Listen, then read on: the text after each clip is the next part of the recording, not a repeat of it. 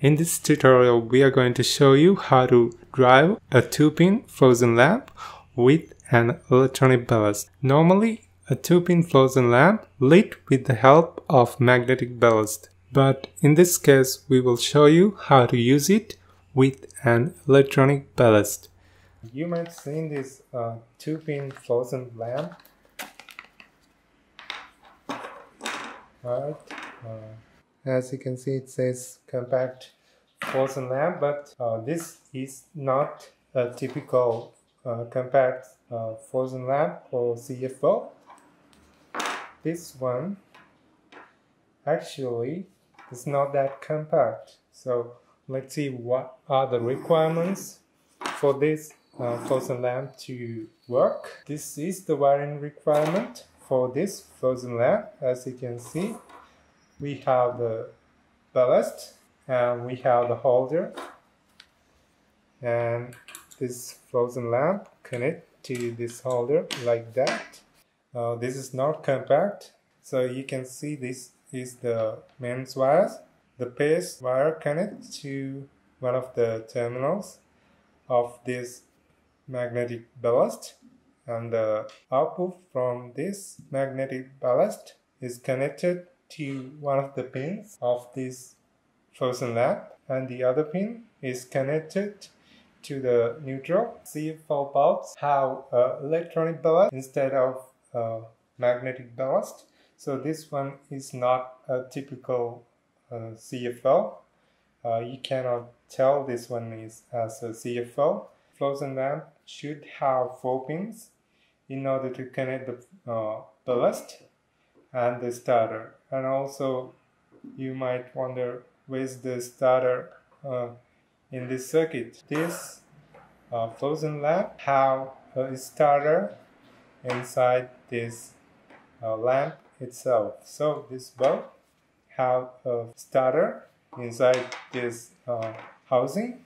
This one actually a fluorescent lamp with built-in starter so you only have to connect the magnetic ballast from outside to drive this fluorescent lamp. So that is the wiring. That's how this fluorescent lamp work. This ballast is uh, not working. I try to find a ballast that uh, have the same electrical characteristics. Uh, I wasn't able to find a replacement part. Right, if you can't find a magnetic ballast, you have to use uh, electronic ballast. Alright, uh, let's see what is inside this uh, electronic ballast. Alright, this is what is inside the uh, electronic ballast compared to this one. This is a magnetic ballast with coils. You can see there's no electronic circuit. So in order to uh, connect this electronic ballast. Uh, let's see what we can see. How where to connect the fluorescent lamp to this electronic ballast. As you can see we have four PCB pads to connect the fluorescent lamp to this electronic ballast. So in order to access these four pins we have to remove this housing. So in, so to do that Alright, as I told you earlier, we have two wires that coming from the uh, fluorescent tube is uh, that is connected to these pins. In order to remove the bottom part of this housing, you need to detach uh, these pins from that wires. So as you can see, these pins are crimped using a tool in order to free that uh, wires from these pins. Uh, you have two options. You can either cut this uh, pin uh, after the print uh, portion or you can drill it through using a small drill bit. So if you drill it through using a drill bit that is uh, 0.8 or 0.6 you can free that uh, free those wires from these pins then you can pull out the bottom portion and access the wires that is inside this housing. So that is what we're going to do in this tutorial. Uh, let's see how to do that. Okay, uh, let's drill this uh, pin using this uh, drill bit.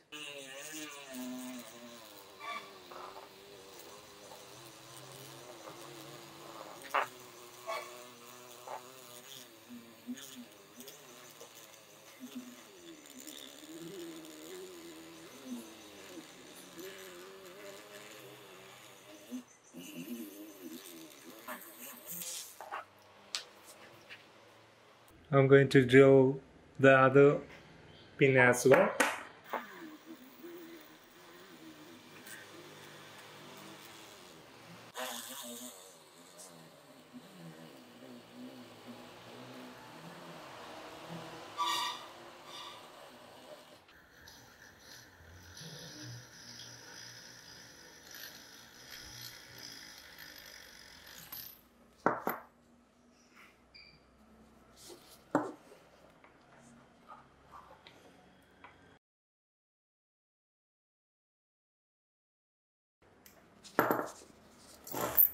Alright, as you can see the drill bit will go all the way through once the print area is uh, cleared.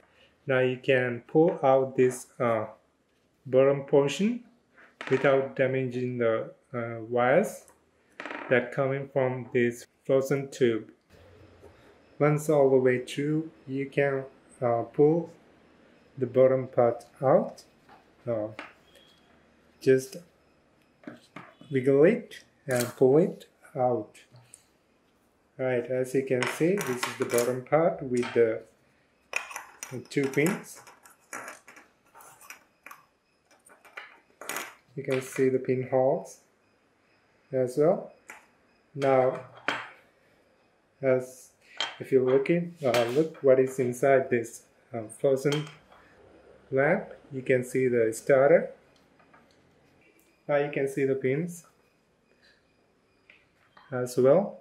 We have four pins, this one and this one, and these two pins. Now you we got the four pins we need to drive this fluorescent lamp with uh, electronic ballast. Okay, let's do that. I'm going to cut this uh, starter attachment from this uh, fluorescent lamp and I'm going to uh, connect each uh, wire to the electronic ballast. As you can see I have uh, cut the starter from this fluorescent lamp and I also cut the wires uh, from the tube to the required length. I'm going to solder this wires to these PCB soldering points. I think we have to clean these pins as well. Oh, let's do a quick cleanup using a sandpaper. Alright, I'm going to clean it before soldering. Contacts or proper soldering. Uh, I don't want any oxidation on this uh, bias.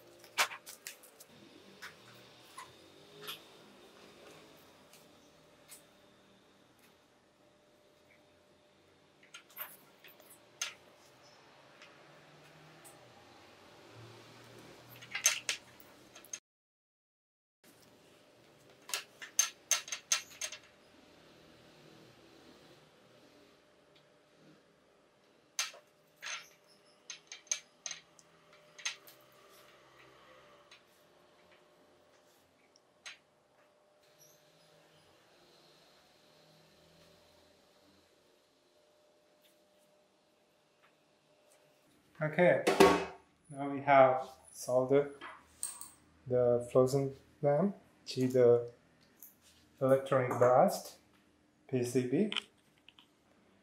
Uh, let's solder the input wires and see what will happen when we power this uh, electronic ballast. Alright, uh, let's solder these wires to the input of this uh, electronic ballast.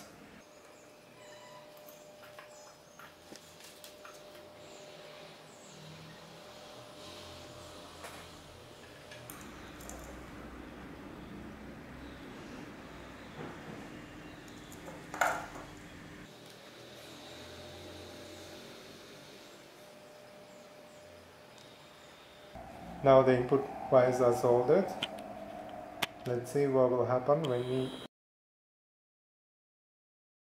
connect these two wires to the, the power. Alright, that is the final result. As you can see, the fluorescent lamp works with the electronic ballast.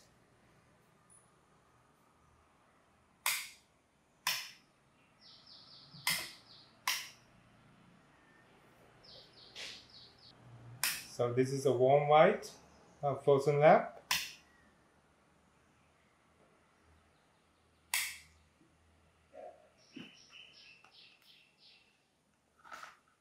That's how you drive a 2-pin fluorescent lamp with an electronic ballast. If you don't have an electronic ballast, use the electronic ballast that is inside the regular CFL bulb. Make sure to select a CFL bulb that has the same power ratings as the 2-pin fluorescent lamp itself. Alright, thank you for watching. See you in another tutorial. I'm Sal for learnitstepbystep.com.